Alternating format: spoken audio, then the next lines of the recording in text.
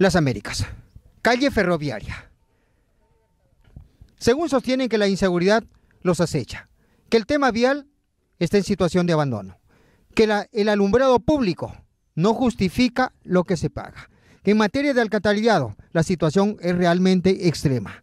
Sobre esos aspectos fundamentales en la estructura de una comunidad como es las Américas, dialogaremos con ellos.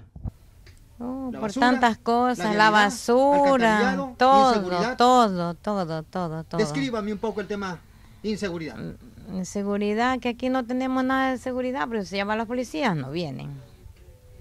Uno le puede pasar algo, O sea, prácticamente ustedes están desprotegidos. desprotegidos. en nada materia más. vial, Uh, destruida la vialidad. destruida. Alcantarillado, no cuentan. Peormente. Uh, yo ya vivo ya siete años aquí y nada que ver. Pues eh, se dice sin seguridad porque verdaderamente no, aquí seguridad no hay de nada. Dicen barrio activo, barrio eh, supuestamente que es con guardianito y, y nada de eso se mira, ¿no? Porque vivimos en inseguridad, acechados por los ¿Viene ladrones. la policía por esta zona?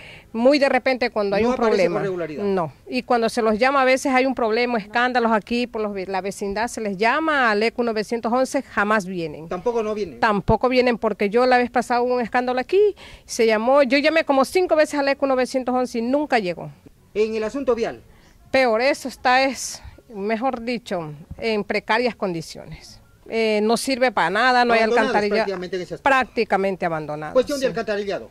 Peor, no hay, no hay alcantarillado. Eh, Imagínense, cada ser humano aquí, cada casa, cada vivienda tiene que tener un, un pozo, Pozo séptico. séptico, porque verdaderamente alcantarillado de dónde? No hay, No hay. no hay. Alumbrado público.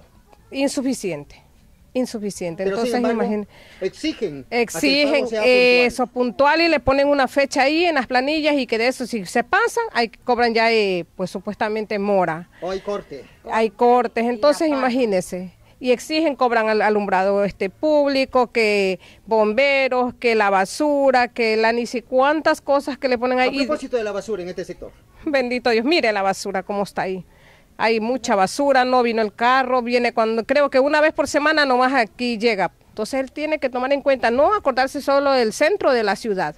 Somos pobres, no podemos vivir en el centro de la ciudad, pues entonces, pero tiene que darnos las facilidades de vida, las facilidades para uno poder andar en las vías, por lo menos no ensuciarse ni, ni vivir, que en tiempo de invierno hasta el agua se le mete a uno a las casas. ¿Por qué? Porque no hay ni alcantarillado, no le digo, no hay bordillos, no hay nada, entonces cómo vamos a vivir. Él tiene que darse cuenta de eso, el señor alcalde, en primer lugar porque es la máxima autoridad La de máxima aquí. autoridad, claro.